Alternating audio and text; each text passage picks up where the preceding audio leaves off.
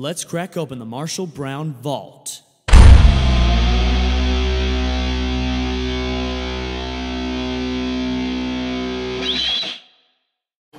I've always been getting a lot of comments. There were some people that always talked behind my back and said, hey, who's the cool guy with the braces? But then there are others that said, hey, who's the weirdo with the braces? But you know what? Now, I don't have braces anymore. Cool, huh?